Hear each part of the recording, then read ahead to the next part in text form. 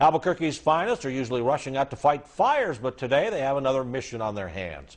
Albuquerque firefighters will be out at intersections across the Duke City raising money for their annual Fill the Boot fundraiser. All proceeds go to the New Mexico chapter of the Muscular Dystrophy Association.